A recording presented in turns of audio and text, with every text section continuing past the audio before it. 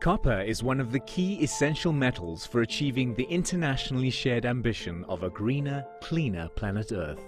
The new electrical era of the 21st century is ushering in a transportation revolution.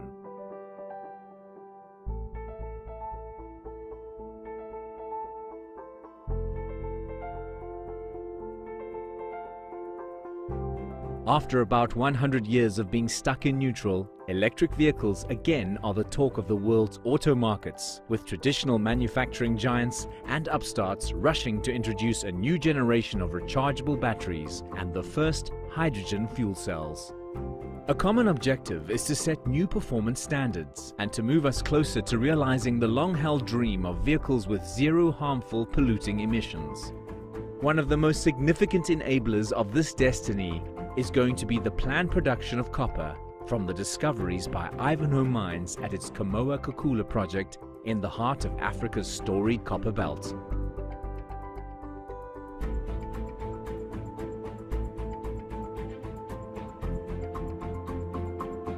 Well, Ivanhoe began exploring uh, in the copper belt in 2004 recognizing potential to find some new deposits outside of where people thought all the deposits were, outside of the copper belt proper.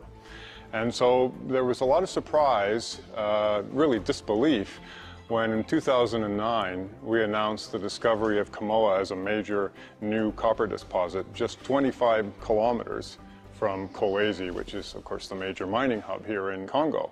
And even more when in 2015 we announced the size of the deposit as really one of the largest deposits ever discovered in the, in the African continent.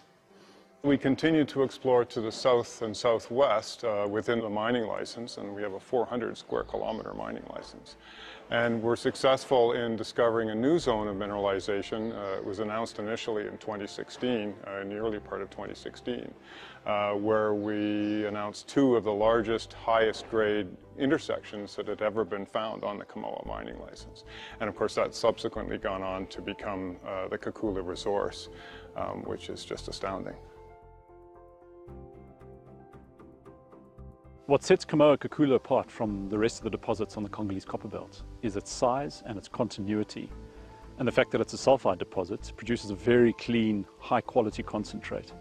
We've drilled over a thousand drill holes on this deposit. We know this deposit. Even with Kamoa as good as it is, Kakula stands out as being unique. It shares many characteristics with Kamoa, but it stands out in its continuity of both the geology and the high grades. They're exceptional. It's shallow, the high grade starts at 250 meters. Uh, it's much thicker than Kamoa, up to 15, 17 meters in places. Uh, it can be a lot flatter, very gently dipping, and it has exceptionally high grades. At a 3% cutoff, the indicated resource contains 66 million tons at over 6.5% copper. That's a large continuous zone of high grade containing 9.6 billion pounds of copper. In addition, there's 27 million tons at 5.26% copper in inferred, containing 3.2 billion pounds of copper. At Kakula, mineralization is dominated by chalcocite, which is 80% copper and which can produce high concentrates. Well, within the thick mineralized zone, the high grades are concentrated towards the base and they gradually decrease going up the hole away from the contact. And what this allows is a significant flexibility uh, within the mine plan. So as the market changes, you can also adjust the mine plan. Um, so basically within this you can select a thin high grade zone which you could mine or you could opt for a thicker high tonnage lower grade option. With the initial resources at uh, Kakula now being established, we are now looking at uh, evaluating the technical and uh, infrastructure options to fast track the development of Kakula. Given the fact that uh, Kakula is a significantly high-grade uh, copper resource compared to any other area in Kamoa, we strongly believe that by fast-tracking its development, it will add a lot more to the economics of the Kamoa-Kakula project. We started construction in 2014 of the box cuts and was successfully completed by a local company from Lubumbashi. Byrnecut now is the mining contractor, is doing development of twin declines and is doing good progress. What we've discovered at Kakula is more than just significant. It's absolutely game changing. We believe for our company and also for the DRC as a country. So what have we got? We've got the highest grade, largest deposit discovered in Africa and potentially in the world. We believe as custodians of this ore body, we need to manage it responsibly, we need to capitalize it adequately, but also in a responsive manner and manage what we believe will be uh, strategic supply gaps coming in the future in the copper mining industry and in, in global supply. The continuity of the geology and the high grade at Kakula still astounds us. And it was this continuity that allowed us to declare a mineral resource after just six months of systematic drilling. Kakula is still a very early stage exploration program.